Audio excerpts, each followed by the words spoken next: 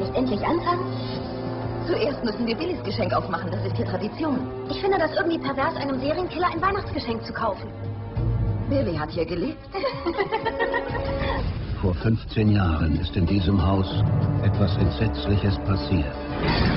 Der Billy Lenz, der früher in diesem Haus gewohnt hat? Was ist passiert? Meint sie, nachdem er seine Weihnachtsplätze mit einem Glas Milch runtergespült hatte? Die er aus Stücken seiner Familie gebacken hat?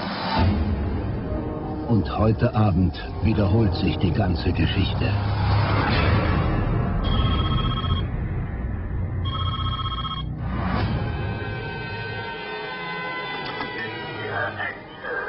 Billy! Billy, was hast du getan? Ich bringe dich um. Billy ist an Weihnachten wieder zu Hause.